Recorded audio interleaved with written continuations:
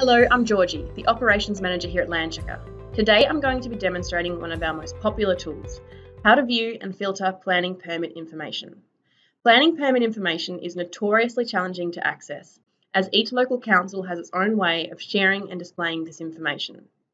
Landchecker brings this all into one place, making it significantly easier and faster for you to access. The planning permits can be turned on and off on the left-hand side like so.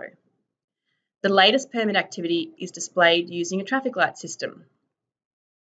Green for approved, yellow for pending, red for rejected.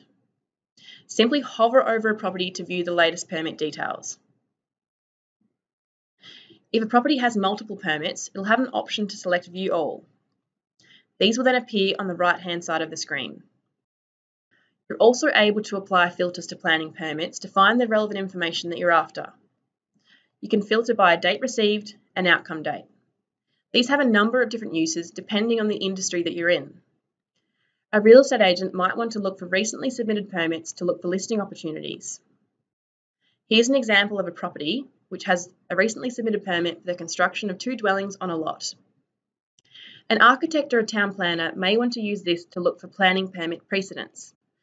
Let's look for permits submitted in 2020 that have been approved that also fall under a heritage overlay.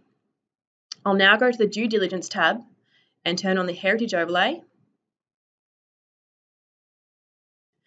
And now I can pan around the map and see the properties that fall under this. Thank you for watching this demonstration today on how to access and view planning permit information on Landchecker.